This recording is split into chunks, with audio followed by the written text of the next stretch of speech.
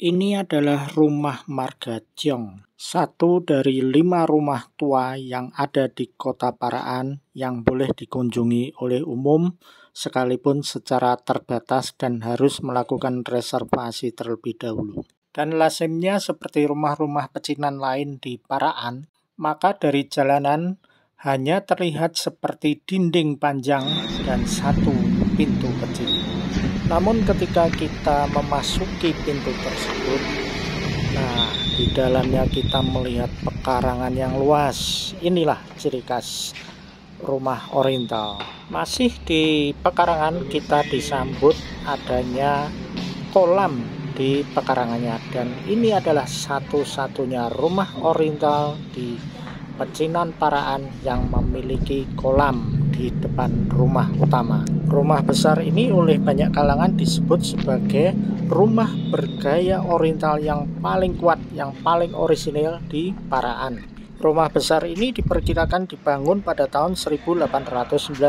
Dari awal dimiliki oleh Chiang Un-jiang yang lahir pada 20 Desember 1839 di desa Guatpian, wilayah Hokkien atau Fujian di Tiongkok. Ketika itu pada tahun 1856 hingga 1860 terjadilah perang candu di Tiongkok, maka Chiang Un-jiang bersama beberapa sanak saudaranya merantau keluar dari Tiongkok dan yang dituju adalah Tanah Jawa dan akhirnya dalam perjalanannya sampai di Paraan. Seperti perantau lainnya, maka ia meninggalkan istri dan juga anak-anaknya di kampung halamannya. Ketika sudah hidup mapan di Paraan, maka ia pun menikah dengan Chia Xin dan menurunkan beberapa putra dan putri. Hanya perlu saya sebutkan bahwa salah satu putrinya yaitu Jiang Bungkus Nio kemudian dijodohkan dengan Bak Ton An yaitu yang memiliki rumah tangsi atau omah tangsi sang juragan tembakau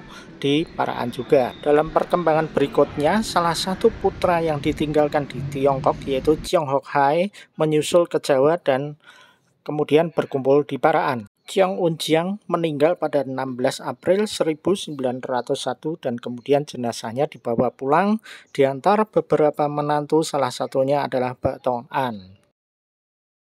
Rumah besar ini diperkirakan pada masa lalunya sangat sibuk dengan berbagai kegiatan bisnis yang ada di dalamnya. Berbagai kegiatan bisnis dilakukan dan salah satunya diduga adalah perdagangan candu. Warga Paraan pun mengenal rumah Marga Ciong ini sebagai rumah candu. Pada masa lalu ketika masa jayanya maka keluarga ini memiliki perangkat gamelan lengkap dengan wayangnya. Pada perayaan Imlek, maka digelarlah pagelaran wayang kulit yang menghibur masyarakat Paraan. Namun di kemudian hari perangkat gamelan itu dijual, tetapi anak wayang tetap disimpan. Yang kita saksikan ini adalah bagian dari rumah utama dengan perabotan yang masih orisinil sekalipun juga sudah banyak jenis perabot-perabot yang lain yang sudah dijual yang mungkin dianggap tidak praktis atau mungkin juga karena beratnya perawatan rumah tua. Di atas almari di dalam kamar ada foto Jiang Unjiang dan istrinya dan ada jam tua menunjukkan bahwa ini adalah merupakan kenangan pada waktu reuni keluarga pada tahun 2017. Seperti yang saya katakan tadi bahwa rumah marga Ciong ini masih dihuni sehingga jika memasukinya perlu melakukan reservasi dan dalam jumlah yang tidak terlalu banyak sehingga tidak mengganggu penghuni. Betapa besar rumah ini, maka pada masa lalu disebutkan diperlukan lima asisten rumah tangga yang tugasnya untuk membersihkan dan merawat peralatan yang ada. Di belakang bangunan utama ini masih ada dua bangunan besar lain namun difungsikan sebagai gudang dan hingga kini masih dirawat oleh keluarga pemilik. Sekarang dihuni oleh keluarga Hartono Tresno Hadi atau buyut dari Cheong Hok Siu.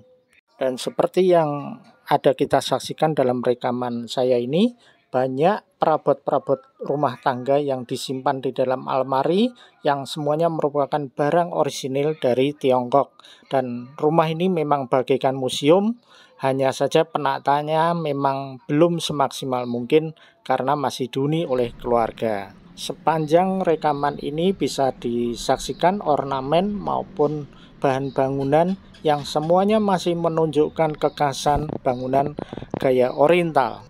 Dan sekali lagi, inilah rumah marga Ciong yang dianggap oleh berbagai kalangan arsitektur sebagai rumah dengan ciri Tionghoa yang paling kuat di kota Paraan. Rumah ini memang sangat tua karena dibangun pada tahun 1890 tetapi ketika memasukinya saya merasa nyaman, sejuk karena atap-atapnya juga tinggi dan bisa membayangkan kejayaan marga Chong pada masa lalu di mana rumah ini sangat memiliki kesibukan tinggi dengan aneka usaha yang ada dan keluarga besar yang ada di dalamnya.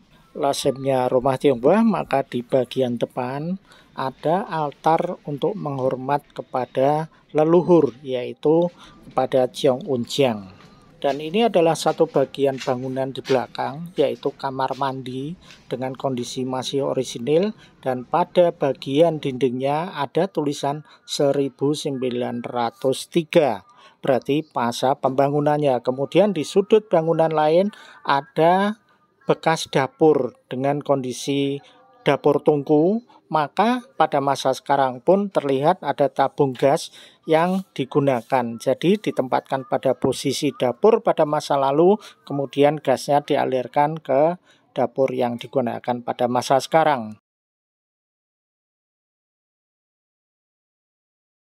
Dan ini adalah pintu menghadap ke bagian belakang yang di bagian belakangnya di depan bangunan ini adalah bangunan gudang. Ini adalah rumah Marga Ciong yang ada di Jalan Bambu Runcing, Kota Paraan.